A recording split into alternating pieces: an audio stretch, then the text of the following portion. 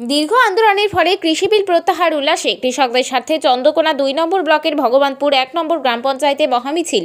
মিছিলে উপস্থিত ছিলেন চন্দ্রকোনা বিধানসভার বিধায়ক অরূপ ধারা, পঞ্চায়েত সমিতির ভূমি কর্মধ্যক্ষ জগদীশ সরকার ভগবন্তপুর এক নম্বর গ্রাম পঞ্চায়েতের অঞ্চল সভাপতি আরমান আলী খান, মূলত কৃষকদের সম্মান জানানোর জন্যই মহামিছিল।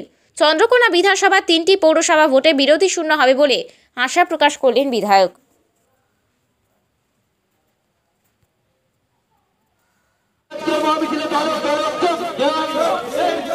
কৃষকদের স্বার্থে তৃণমূল কংগ্রেসের আন্দোলন চলছে কৃষকদের স্বার্থে তৃণমূল কংগ্রেসের আন্দোলন চলছে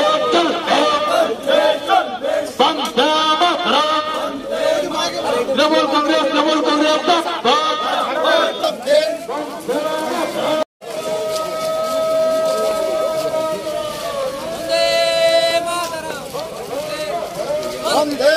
বন্দে মাতরম জপত জপত যোগ দিন যোগ দিন লড়ছে লড়ছে জপত জপত জপত আমাদের আন্দোলন চলছে হ্যাঁ ওইটাতে ঘুরি দেবো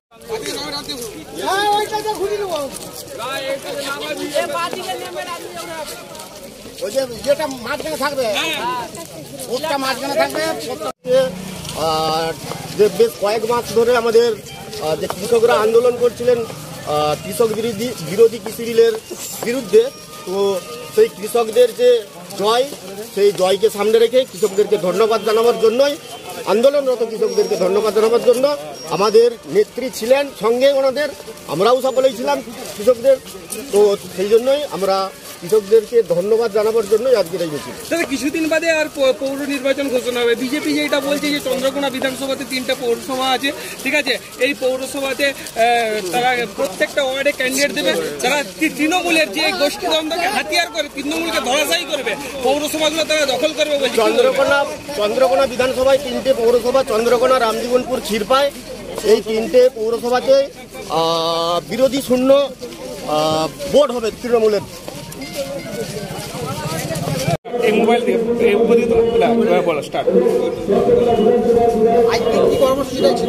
আজকে আমাদের কর্মসূচি কিষাণ ক্ষেত মজুরের উদ্যোগে আজকে যে মিছিলটা আয়োজন করা হয়েছে বা মিছিলটা করা হয়েছে, আমাদের নেত্রী মমতা বন্দ্যোপাধ্যায়ের নির্দেশে কেন সারা ভারতবর্ষে যে কৃষক আন্দোলন চলছে এবং এই কৃষক আন্দোলনের সাথে জড়িত আমাদের নেত্রী মমতা বন্দ্যোপাধ্যায়, এবং যার কারণে আজকে মোদী সরকার বা মোদী সেই প্রত্যাহার করতে বাধ্য হয়েছে এবং তার সাথে সাথে এই শীতকাল, শীতকালীন অধিবেশন যে চলবে, তাতে এই বিল পাস করাতে হবে, করিয়ে এটাকে প্রত্যাহার করতে হবে। যতক্ষণ না করবে, ততক্ষণ তৃণমূল কংগ্রেসের এবং মমতা বন্দ্যোপাধ্যায়ের যে নীতি, আদর্শ বা মমতা বন্দ্যোপাধ্যায়ের যে আদেশ, সেই আদেশ ততক্ষণ চলবে আমাদের।